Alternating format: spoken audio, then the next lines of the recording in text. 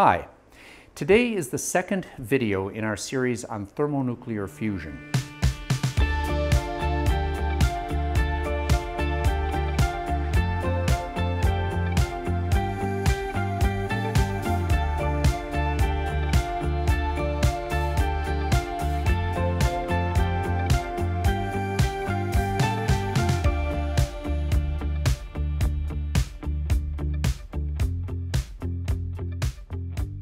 A couple of months ago, we put out the first video where I discussed fusion, the principles behind fusion, as well as some of the properties of the burning plasmas that are the core of what is going to be controlled thermonuclear fusion in the near future.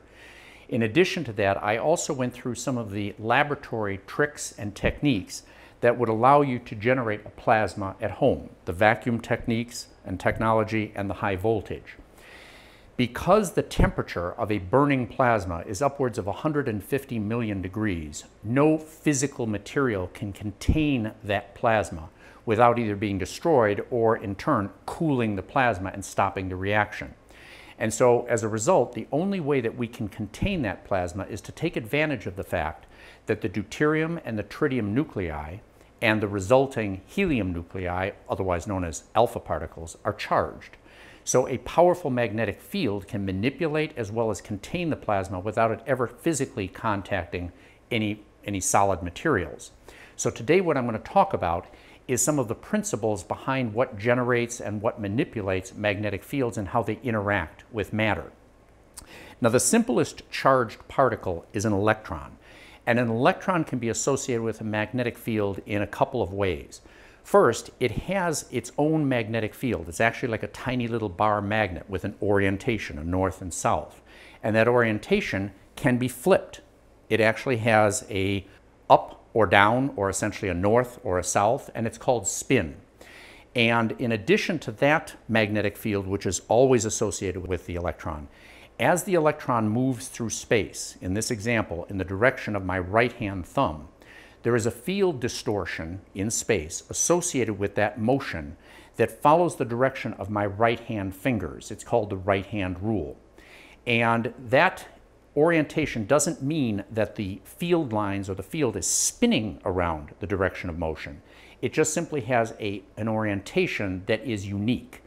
Just like, for example, in chemistry, they call that chirality or mirror image, or in a shop, that would be the same thing as a left and a right hand thread on a screw. It's not actually spinning or moving, but it's unique, just like my hands. You can't interchange the left and right hand. You will always be able to identify them. And so because of the right hand rule, depending on the orientation or the direction of motion, we will get a field direction that corresponds to the direction of the motion of the electron. And that motion of the electron will distort the field in space around the motion of the electron. So if we put a detector and pass the detector with the electron, we will detect a change in the magnetic field due to its passage. And the direction of that change will be associated with the direction of the motion of the electron. That is related to uh, the motion, not the spin. We'll get into the spin in a second. Now, when physical materials interact, like if you take a, a nail and a hammer and you slam onto the nail, the atoms in the hammer and the nail don't actually physically contact. It is the interaction of the fields that produce the force that drives the nail. So the forces can be very, very great. They can be tremendous. And so rather than speaking physically, what I'm going to show you in this little apparatus here is that depending on the direction of the field, these fields can interact with each other and either attract the electrons associated with them and the macroscopic materials that contain the electrons can be attracted because the electrons are attracted because the fields are attracted, or conversely, they can oppose or they can resist or repel each other. So in this apparatus, what I have is a variac or a voltage controlled uh, transformer hooked up to a high voltage uh, power supply which charges a capacitor bank.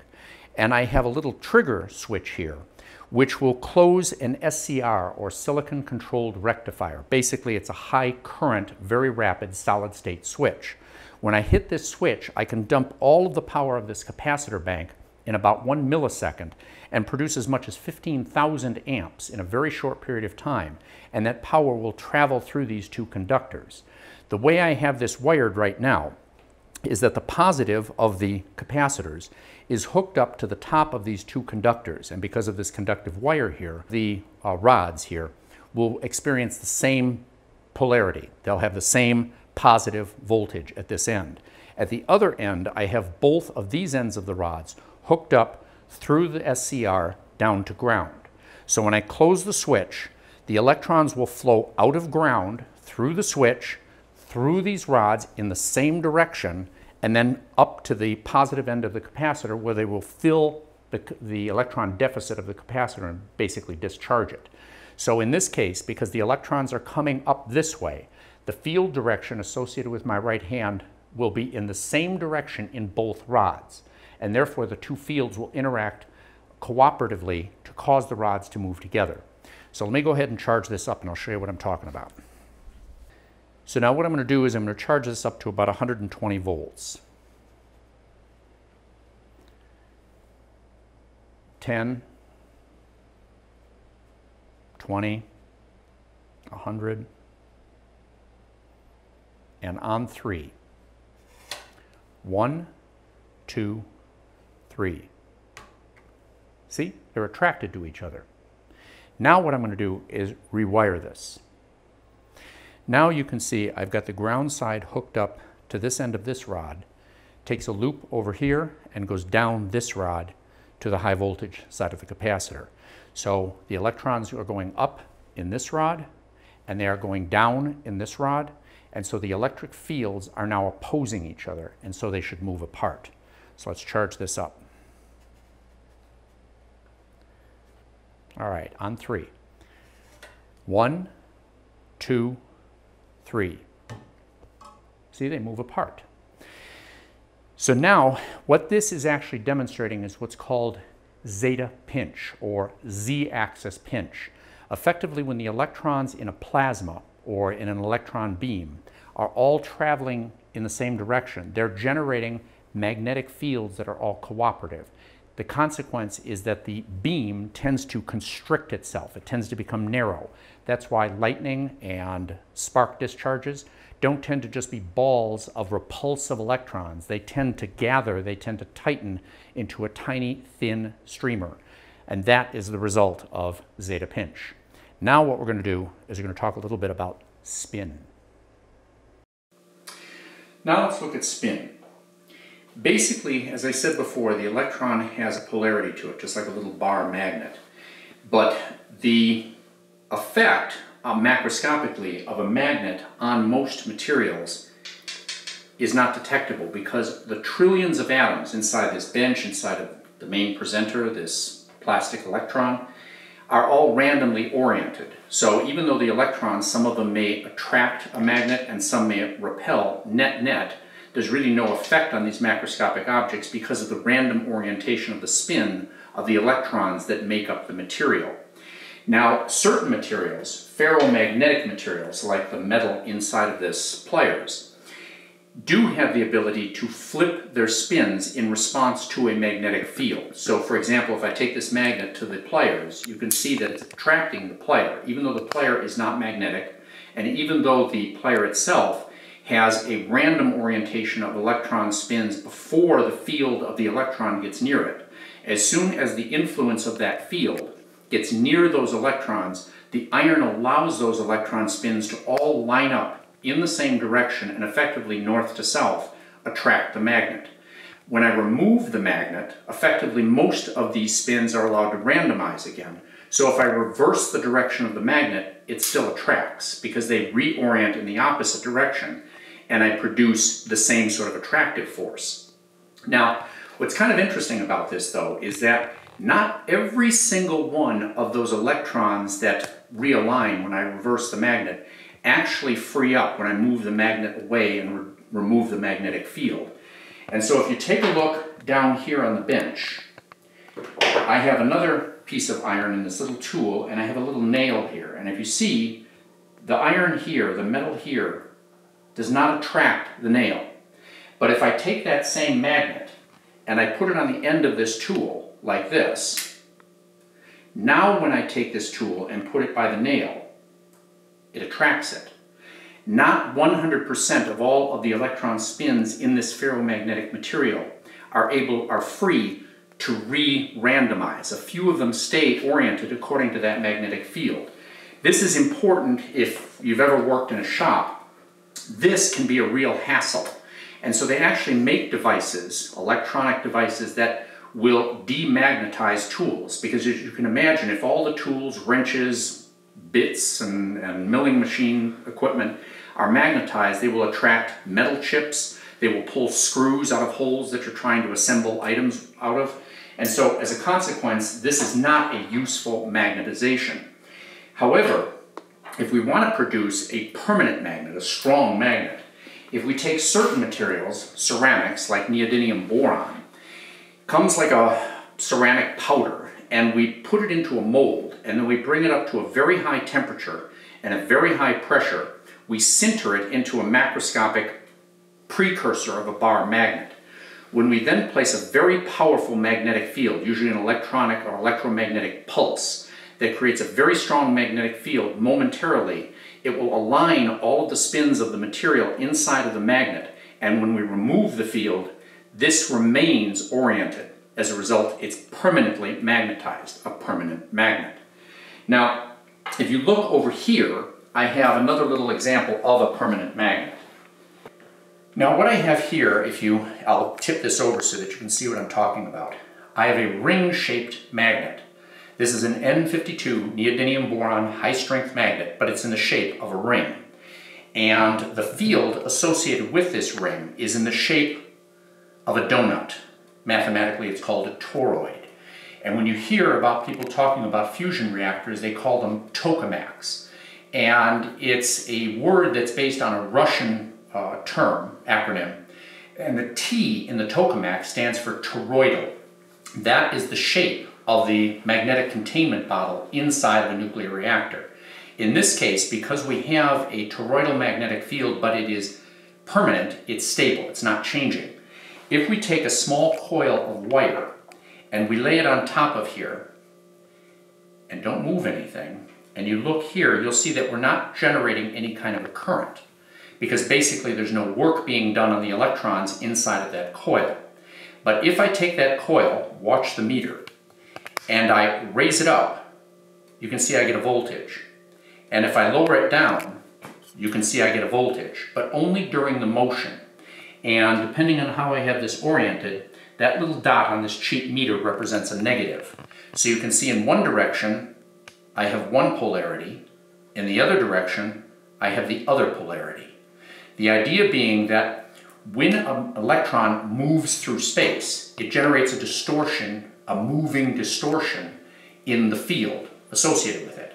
Conversely, if you take an electron and you create a moving magnetic or a distortion of a magnetic field around the electron, you will move it. So, and a lot of this uh, sort of understanding of electrons and electron fields and any kind of a charged particle and a magnetic field there's always two ways to look at it. There's a cause and effect and an effect and a cause. So in this case, because I'm generating energy, essentially I'm doing some work in order to create the current that you read on the meter. If I had very, very sensitive hands, when I moved this up and I moved it down, I'd actually be able to detect a slight force, a resistance to my motion. Has to, because I can't create energy out of nothing, so I have to be doing work on this. The problem is my hands aren't sensitive enough, so I can't feel the resistance of the wire to the motion that I'm creating here. But we are clearly producing a current. Now what's interesting though is we can scale this up to the point that you can actually see the effect of the force created by the counteracting field. And I'll show you that over here. Okay, now I have another magnet over here. Same sort of toroidal field, but it has a much smaller hole. And I have, like the loop, a conductor. But in this case, the conductor is a hollow aluminum tube. Effectively, it accomplishes the same thing. When I take this aluminum conductor and I pass it through a magnetic field, I'll generate a current in the conductor. The current that's generated by a field will itself produce a field, moving electrons. and those fields will always oppose each other. That's the only way that you can create work when you're moving the, the electrons through the field. And in fact, if it didn't, it would end the universe because effectively we would essentially be reversing entropy. We would be creating energy from nothing. We have to do work to get energy or elect electrical power out, and we have to use energy in order to create force or work. So when I place this tube into this device, you're going to see a difference in the fall rate. Right now it's falling at 1 g, or 10 meters per second per second, or 32 feet per second per second. If I put it inside of this ring and drop it, you can see how much more slowly it falls because of the current that's generated in the conductor that opposes the field that produced the current. So it drops much more slowly. Now if we come over here, I'm going to show you something interesting.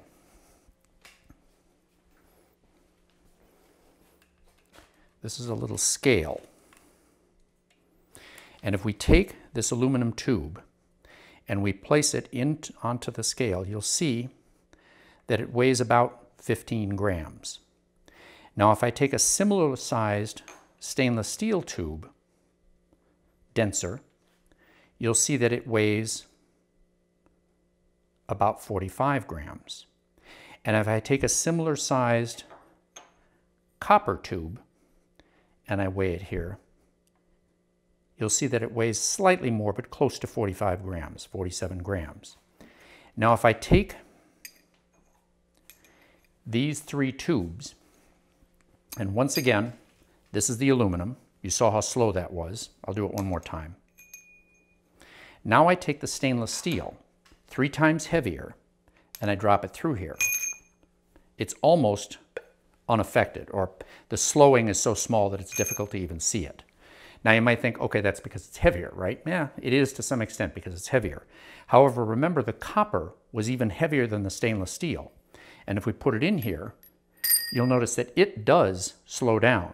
Not as much as the aluminum because it still is much heavier, but it's much slower than the stainless steel. That's because the copper has such a high electrical conductivity that the same amount of work will generate a larger current, more electrons, and a greater opposing field when we drop this through here. Now, an interesting thing is, what if we could produce an even higher electrical conductivity? So I have here some liquid nitrogen, and I have two identical aluminum tubes. I'm going to put one in the liquid nitrogen, and we're going to cool it off. Kind of exciting.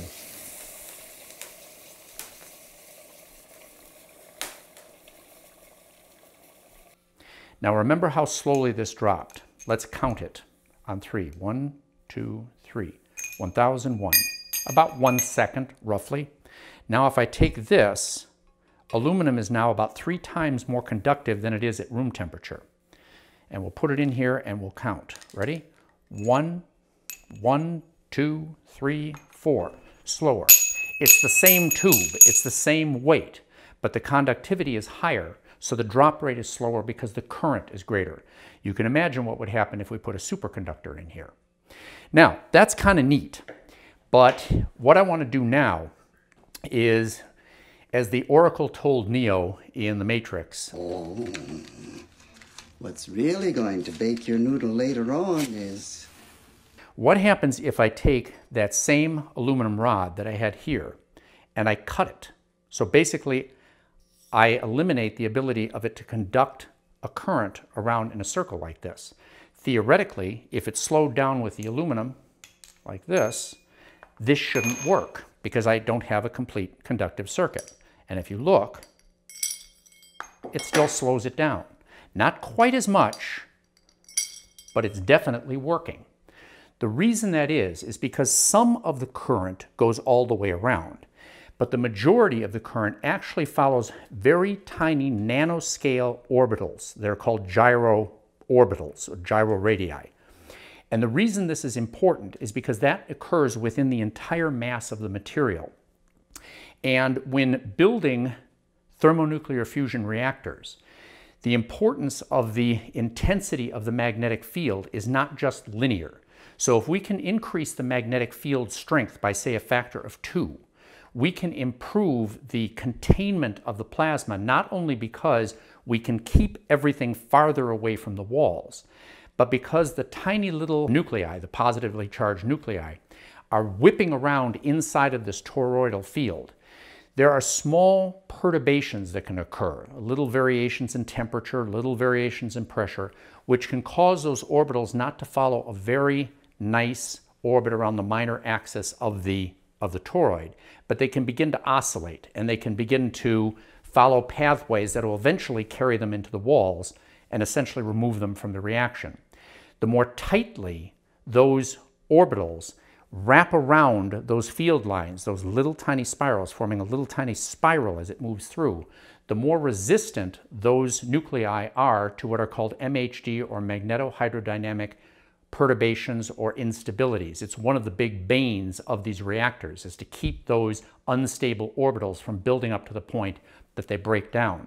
Consequently, a stronger magnetic field affects the size, the containment of the, of the fusion reactor, not linearly, but like the third power. Double the field, and we can increase containment, reduce the size, reduce the cost, and speed up the, uh, the development of these reactors many, many fold. And that's why magnetic fields are so critical.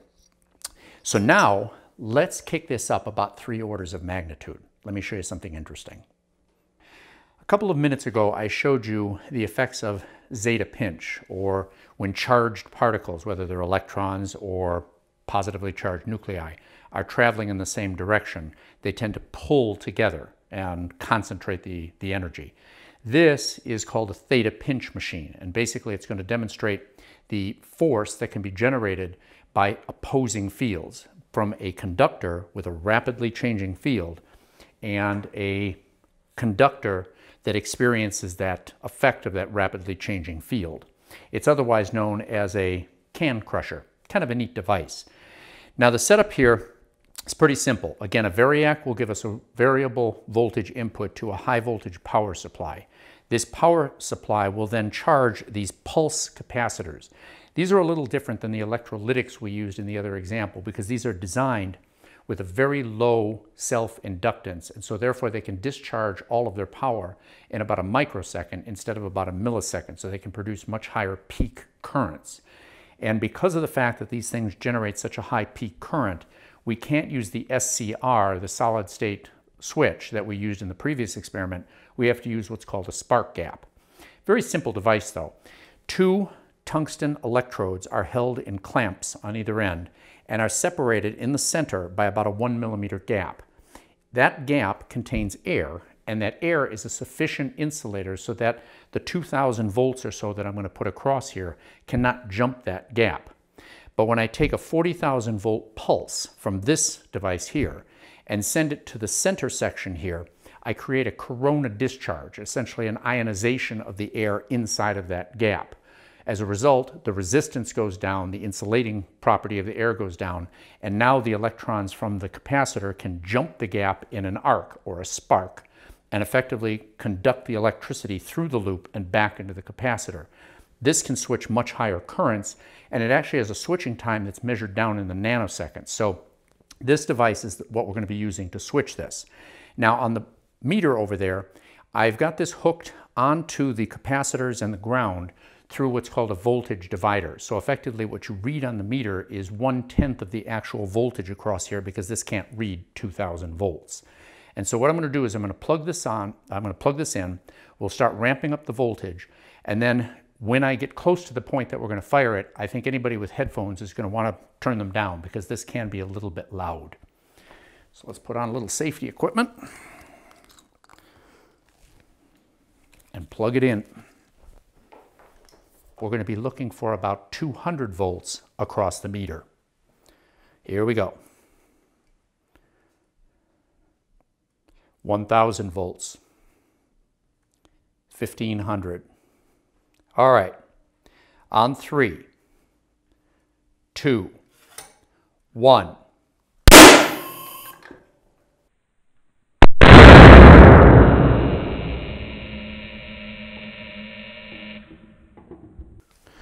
Whoa. Now, what's interesting about this is you can see that the can has been crushed all the way around its periphery. And in some, it's even a little warm. And you can see on some uh, YouTube videos where they'll explain how this happens, and they'll explain that the current in the can actually causes the can to crush itself. That's not actually true because the high voltage or the high current field, the high field, maybe 5, 6 Tesla, that's built up inside this coil, is sufficiently strong and rapidly changing enough that the current inside the can can reach 10, 20,000 amps. Because of that very high uh, current, we get a very high field in the can. And as I explained when I showed the counter current flow of electricity in those two rods, the opposite sides of this can have current traveling in opposite directions. So if the can were in isolation and we could get that kind of current into it, it would actually explode rather than contract. The reason the can is crushed is it's crushed by the field of the coil. The coil is crushing the can.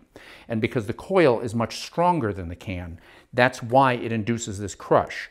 And because the coil is much closer to the wall of the can than the opposite wall of the can. That's why the net force is a crushing force. The reason this is so important has to do with modern superconductors. The limitation on the ability to produce a successful thermonuclear reactor is really limited by the fields that we can produce. And typically, for many decades, they've been depending on conventional superconductors, neodymium or uh, niobium tin, and the problem with that kind of a superconductor is that there are two things that will cause a superconductor to fail to superconduct. One is obviously temperature. Above what's called the critical temperature, these virtual entities called Cooper pairs or essentially pairs of electrons that form an electron wave through the conductor, allow for that lossless, resistanceless conduction. And when you go above a certain temperature, the thermal vibrations or phonons will cause those Cooper pairs to break up and you now have a conventional conductor. That's pretty well known because you know it's a low temperature superconductor. But there's another property that will cause a superconductor to fail to superconduct, and that is the magnetic field in which it's immersed. Inside of a superconductor, there are very tiny little defects in its superconductivity process. And these tiny little magnetic vortices that are present inside the conductor can disrupt those Cooper pairs. But the point is they're so small and they're so weak that as long as they remain separated, they're not enough to break up the pairs and stop the superconductive activity. However, those little tiny vortices, those little tornadoes, can move around and they can coalesce into larger vortices, which in fact can stop the superconductive process. The rare earth, yttrium, which is the most common of the REBCO, rare earth barium copper oxide material, this, the yttrium tends to pin those micro vortices and keep them from moving around. And so you can immerse a high temperature superconductor like these Rebco tapes in a far higher field before it will fail to operate. And the field that you can reach is enormously higher than the field in a conventional superconductor, just to give you an idea of what kind of forces we're talking about. Clearly, with this system here, I was producing some pretty significant forces. But when you take a tape like this and you wrap it up into a coil with thousands of wraps, 90 to 95% of all the material inside of this is not the copper layer that you see on the outside, and it's not the one micron thick of superconductor that's conducting about a mega amp per square centimeter. It's a high tensile strength stainless steel or Hastelloy. And when you wrap this up and form a disc, you may have several centimeters of thickness in this coil. And the fields that can be produced are so great that sometimes before the superconductor fails to superconduct, the entire coil will explode. So you can imagine the kind of forces you're talking about, enormous. The world's highest superconductive magnetic field was recently produced with one of these coils and reached 45 Tesla. That's about four times as high as the design fields that are anticipated or needed in the ITER reactor that's located in France. This enormous, monstrous, industrial park sized machine requires this huge size because of its weak magnetic fields. The only way to keep the, the hot plasma from the walls is simply make it so large that it takes a very long time for the lone, stray, random nuclei to be able to touch the wall and effectively leave the reaction. As the magnetic field increases, the size of the machine decreases by the third power. So if you can double the magnetic field, you can reduce the size of the device by a factor of 8. If you can triple it, 27 times. If you can quadruple it, you can imagine. So you move from industrial size machine, I mean, industrial park size machines, you know, airport hangar size machines to something that might even fit in this room. That's why this whole concept of thermonuclear fusion in the near term has become achievable. That's why it's so exciting. This is really going to happen. So now that I've shown you with the solid materials, let me show you what happens with a magnetic field when we interact with plasma. Okay, so now what I have right here is the setup for the plasma tube. And if you want the details of how exactly this is put together and how to operate it, take a look at the previous video because I go into a lot of details. Today what I'm going to do though is a slight variation between last time and this time because so many people in the comments section said, hey, we want to see a whole bunch of different kinds of gases and different color discharges. And so what I decided to do is to do a discharge rather than in a typical gas, to do it in a mercury gas or a mercury vapor. The reason that's significant is because that's what drives all fluorescent tubes. Mercury is a remarkable material in that it's one of the most efficient generators of light per watt in existence, including LEDs. And the only downside is that most of that energy that it produces is produced around 250 nanometers in the UV. You can't see it. So what they do is they coat the inside of the tube where the UV can contact the phosphor. And the phosphor then glows the bright white, uh, driven by the UV from the, the ultraviolet light. Actually, that's what also makes LED lights white, because the gallium nitride diode that's producing the light actually is a deep blue color. And it drives phosphor on the surface of the LED to produce the white light. So in this case, what we're going to do is I'm going to go ahead and I'm going to hook up the vacuum pump. I'm going to turn it on and begin drawing this down. Then I'm going to flush this with a little buffer argon to get rid of any air and any water. And then as the mercury evaporates under the low pressure, you'll begin to see the bright blue discharge. Because this is a quartz tube, the UV can get out, so I'm going to be wearing some safety goggles when this is on. And the other thing I just want to mention here is the cold trap. This is our liquid nitrogen dewar, and the reason I have this on this cold trap is because I don't want the mercury vapor to get into the air. Even though we have an activated carbon filter on the output from the pump, I'd rather not contaminate the inside of the pump and the oil with the mercury vapor. So by passing it through into this cold chamber, or into this uh, cold trap, that has a little molecular sieve at the bottom of it and run it down at liquid nitrogen temperature, all that mercury will uh, adhere to the surface of the the molecular sieve. And then when we're done, I can simply dump this out in a disposal receptacle and keep it out of the air. So first thing I'm going to do is I'm going to turn on the pump and we'll get the pump, the pressure down in the tube. So we'll turn on the pump.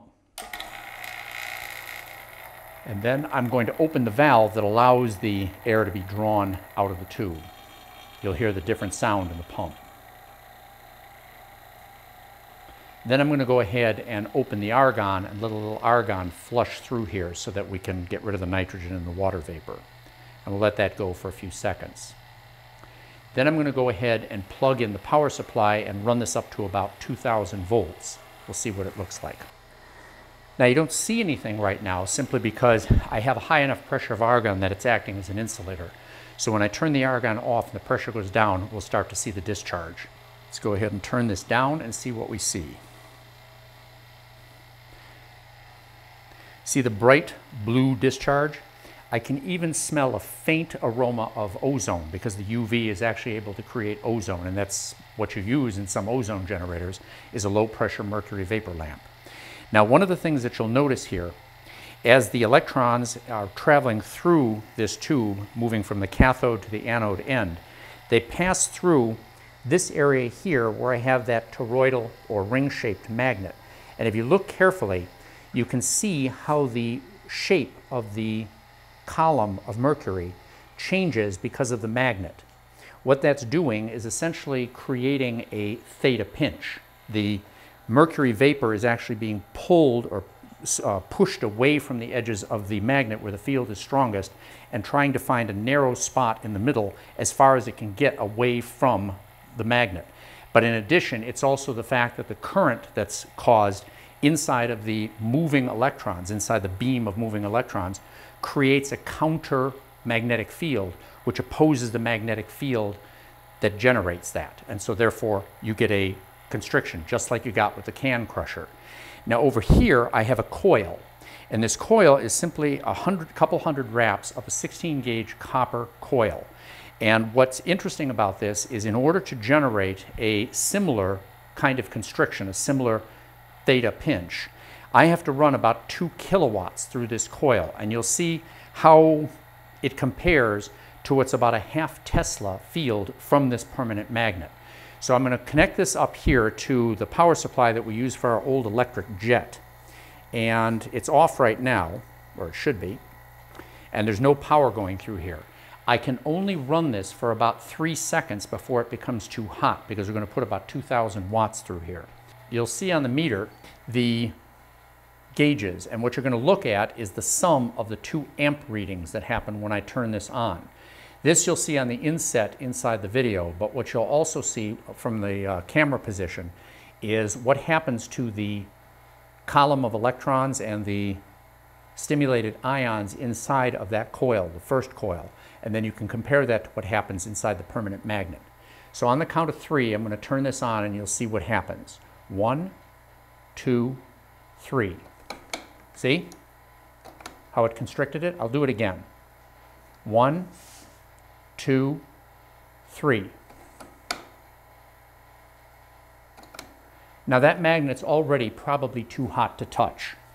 And the significance of this is that clearly, if I've only got about a half a Tesla field in here, and it takes me 2,000 watts to not even equal the constricting effect, the controlling effect this has over the electrons and the ions, you can imagine that there is no conceivable way with a thermonuclear reactor that you could run with anything other than superconductors. It would be, you'd use all the power you produced and then some to just try to constrict the plasma. So superconductivity is the only way to go.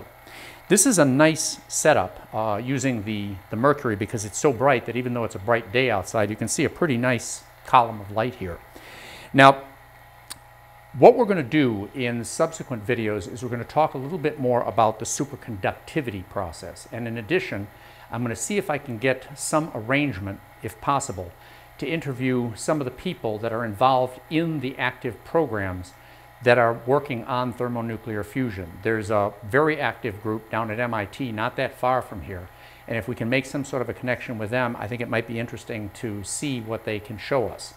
The reason I've got some doubts about this is because they are moving so fast and they are so close, I think, to some pretty significant breakthroughs that they are commercially funded. They've actually got some power companies that are providing the funding and using and some of the commercial scientists are actually working with the MIT group. So they're very proprietary and somewhat uh, close-mouthed about the development simply because there's a lot of patents that are going to be coming out of this. But if we can get an interview with them, I think it would be very exciting because what they're doing is really, really exciting. So I hope you enjoyed the video and we're going to be getting on to some other topics and hopefully reviewing some of the topics that people have been missing follow-ups on over the last year or so. But this was exciting. The potential of thermonuclear fusion is really exciting. And I want to thank you very much for watching. If you like the kind of material on the channel, please subscribe. I read all the comments, and if you have questions or you want to make suggestions, I'll answer as many of them as I can. And most importantly, if you think that what we're doing here is valuable, it's educational, it's interesting, it's fun, please tell people because spreading the word about the channel really is more valuable to us than anything because it helps to extend our reach and helps us to spend our time and give more people more information. So I want to thank you very much for watching. You have a wonderful day, stay safe, and we'll see you soon.